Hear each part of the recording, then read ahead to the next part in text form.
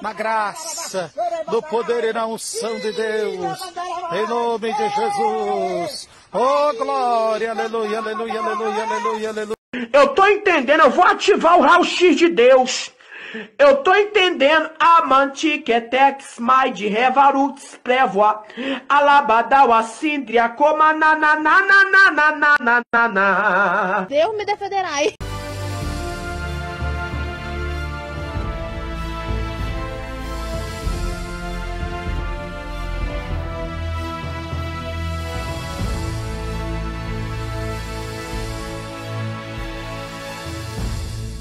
Porque nós queremos ir para o céu, irmãos. Está na hora de vocês se arrepender, está na hora de vocês se converter e ver que Deus é um Deus que está cobrando. Deus está mostrando para aqui que muitos vão perecer porque não querem submeter aos servos de Deus. Se submeter. Que burrico.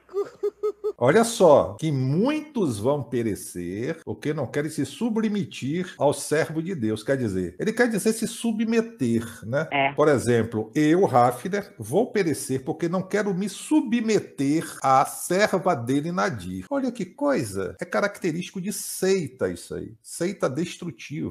É verdade. Ameaça, vocês percebem raiva, rancor na voz deles. Deus vai punir, vai fazer, porque não quer se submeter à serva dele. Não querem obedecer à voz do Espírito de Deus que fala na boca do servo e do servo de Deus. Isso aí que você disse é tudo burrice. É E era para eles olhar para o Calvário, olhar para a morte e ressurreição de Cristo.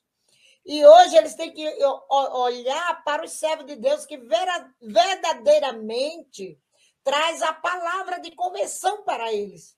Olha, já pensou? Hoje não é o sinal, não. Hoje tem que olhar para o servo, no caso ela, que traz a palavra dele. É o quê? Quer dizer, agora temos que olhar para ela, não é? Exatamente. Deus não vai enviar nem Miguel, nem Gabriel, nem nenhum anjo. Mas não manda na sua casa, cidadã. O Miguel não foi aí para lutar com a senhora contra Iemanjá? A senhora falou. Pelo que eu- o pouco que eu aprendi, tudo era feito em nome de Jesus. Senhor, em teu nome, até os demônios se submetem. Mas ela precisa lutar, ela precisa brigar, ela precisa que venha um anjo com a espada de prata para lutar com ela, para brigar. Estão aí nos defamando, dizendo que a gente está endemoniado, possuído por essa entidade. Que entidade não existe, existe demônios e demônios. Deus não chama nenhum demônio de entidade. Chama demônios. Glória a Deus. Amados, eu sei que vocês não merecem isso. Mas em respeito a vocês que me acompanham, me ouvem, eu quero esclarecer alguns pontos dessa visão que eu fui, eu fui muito infeliz de ter falado que a ciência, a mulher chamada ciência que Deus mostrou, ela distribui o dom da ciência. Não foi isso que eu quis dizer no vídeo, na visão. Quem distribui os dons é o Espírito Santo. Esta mulher que o Senhor me revelou ela, chamada ciência, eu sei o nome dela, mas Deus me proibiu de pôr no canal o nome dela, justamente para evitar chacota, porque é um nome comum das mulheres aqui na terra. Glória a Deus. E eu não, não disse, porque Deus não, não me autorizou. Glória a Deus. Eu quero refazer essa visão da seguinte maneira.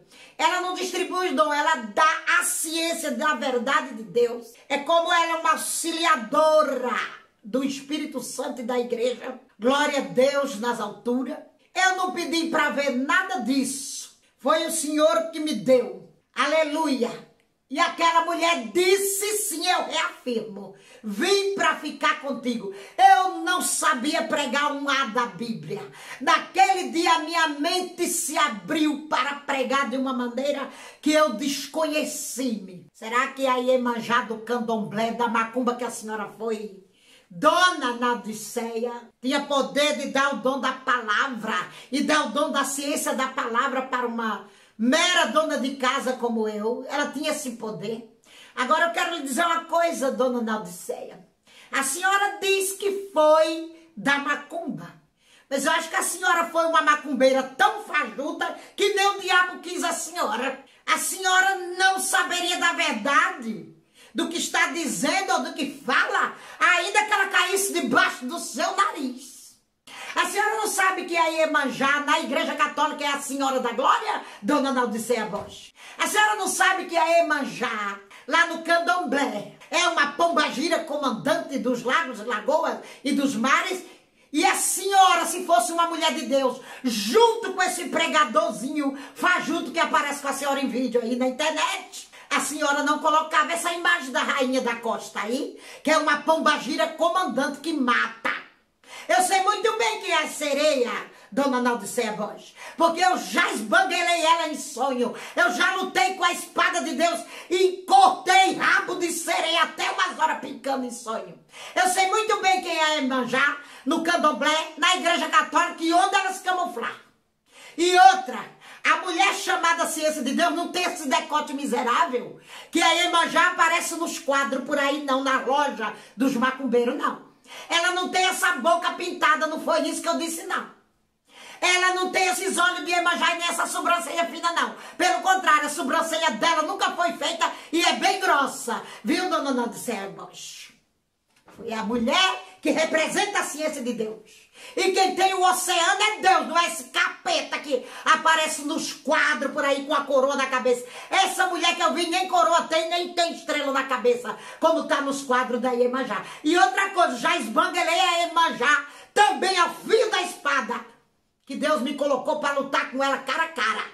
Ela saiu do meu quarto com a traseira pegando fogo. E eu queria, queria que ela tivesse aqui. Para vocês verem eu ir orar. Para Deus abrir os olhos espirituais de vocês. E vocês verem ela ser esbanguelada ao fio da espada de Jeová. Glória a Deus que não existe aqui na terra. E te falará quem são os tranca-rua, quem são os Zé Pilintra. Eu sei, a senhora não sabe. A linha de pombagira do adultério, a linha de pombagira dos fornicários, viu? A linha do espírito enganadores. Glória a Deus. Conforme Isaías 8, 19. A senhora não lê a Bíblia, dona Nandicé.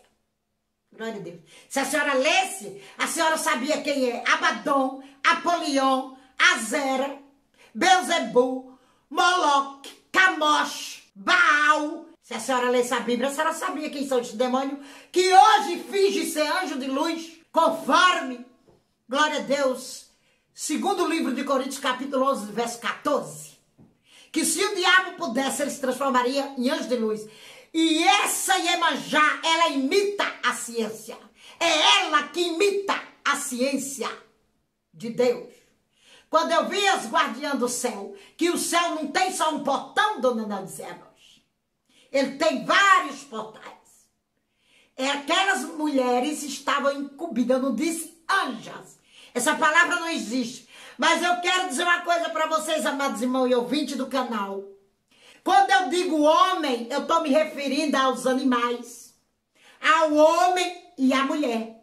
E quando eu falo anjos, eu estou me referindo aos anjos no feminino também e no masculino.